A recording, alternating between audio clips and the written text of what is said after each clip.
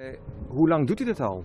Ja, ik, uh, ik zit zelf. Uh, ja, dan moeten we toch even wachten. Want ja, dat is een van de dingen van de kwalen die we hebben. Gerrit Jans Winkels.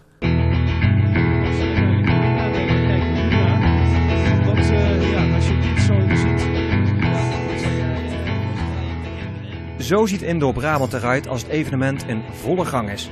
Maar voordat het zover is, moet er heel wat gebeuren. Ja, het is een gigantisch terrein. Uh, Indoor Brabant is uh, met 35.000 vierkante meter toch wel een van de grootste evenementen, misschien wel binnen Europa. Ja, Bas, moeten we nou alles gaan lopen? Nee, we gaan lekker met het autootje. Want ze zeggen wel eens een marathonloper, hè, dat is, een, dat is een, echt, een echte sport. Maar als ik hier alles moet lopen, dan ben ik ook marathonloper.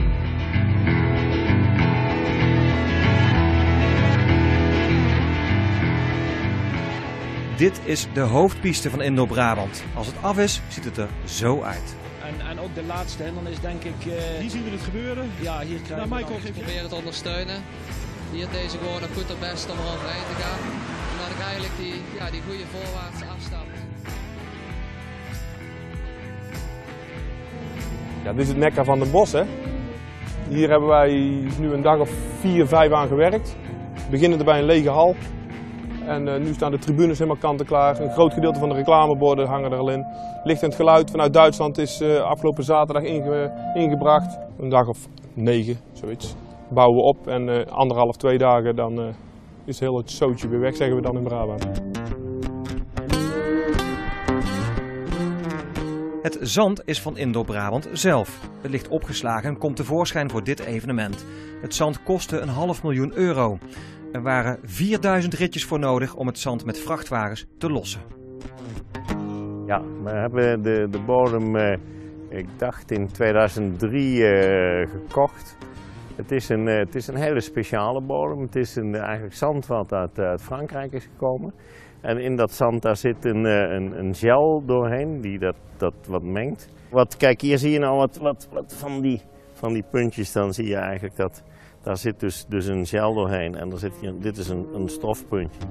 En dit is dus zand. En al die paarden moeten natuurlijk lekker kunnen uitrusten in een stal. En die zijn er dan ook volop.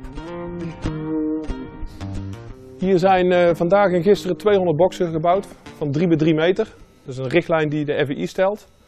Dierenwelzijn. Maar we hebben hier uh, nu uh, 600 balen plosbaan. Dat zijn houtkrullen.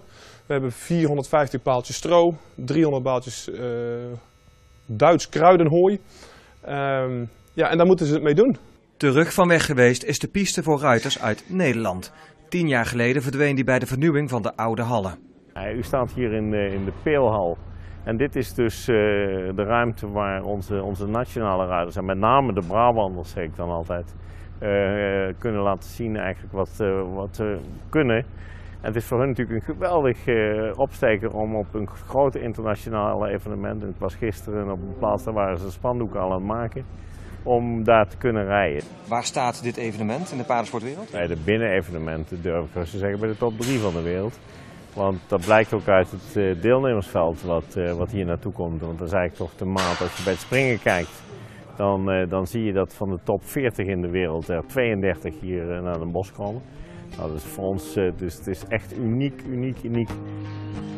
Indo-Brabant is van aanstaande donderdag tot en met zondag.